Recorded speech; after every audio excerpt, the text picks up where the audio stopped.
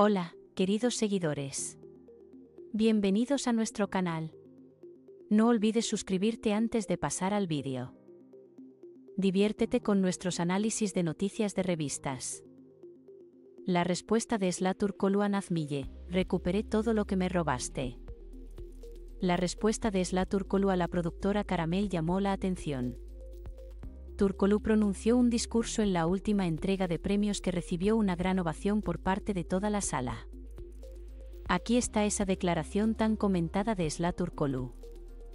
Para conocer los detalles de la noticia, mira nuestro vídeo hasta el final. No olvides darle me gusta, compartir y comentar nuestro vídeo. Estamos aquí para ti, nuestro objetivo es traerte las noticias más actualizadas lo antes posible puedes apreciar que nos esforzamos mucho en este proceso. Por favor, no nos dejes solos en este camino. Gracias de antemano por tu apoyo. Os queremos, ahora pasemos a los detalles de la noticia. Esla Turkolu fue nombrada recientemente la mejor actriz del año en la ceremonia de entrega de la Palma de Oro.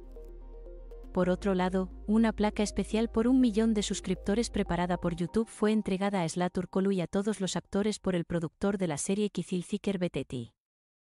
Después de todos estos premios y éxitos, Slatur Kolu hizo la siguiente declaración para la productora Caramel: El tiempo sigue fluyendo, gracias a mis amantes en este proceso, siempre he sido una ganadora, he recuperado lo que me robaron.